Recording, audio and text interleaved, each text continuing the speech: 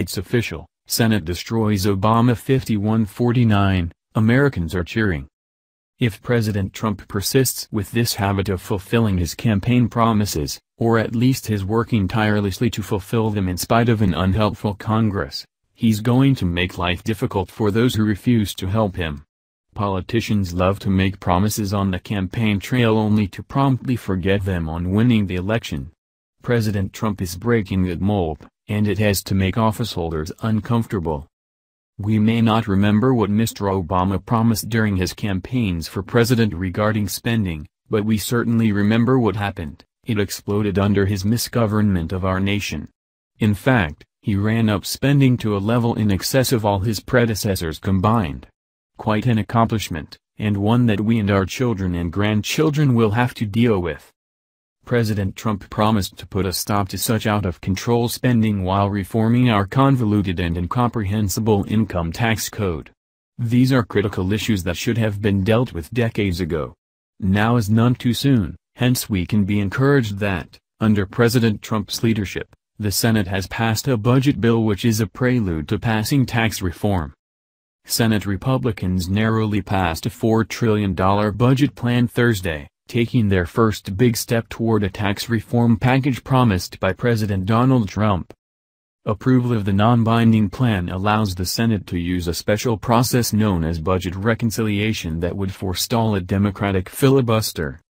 So the Democrats can watch as President Trump and the Republicans turn back more of the disastrous policies of the Obama administration.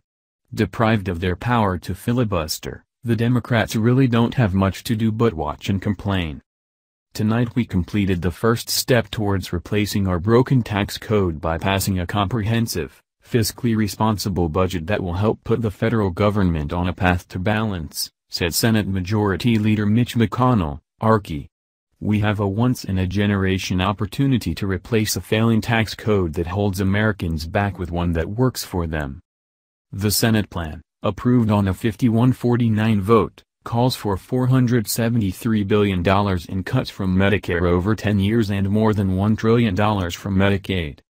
If fully implemented, the plan would cut spending by more than $5 trillion over the next 10 years, with an average of approximately $540 billion per year over the life of the plan, according to a Congressional Budget Office estimate.